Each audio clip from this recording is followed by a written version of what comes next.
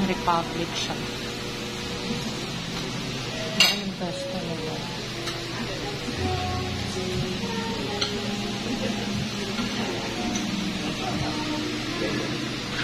Kakain kami sa Lugawan Republic. Maulan, kaya masarap maglugaw.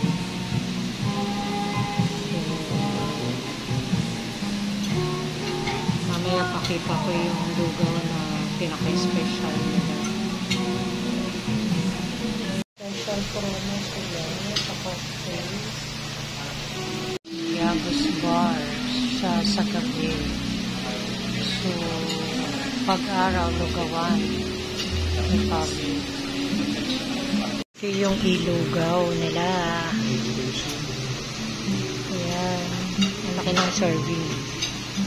Ang laki. Ito yung crispy tokwat baboy.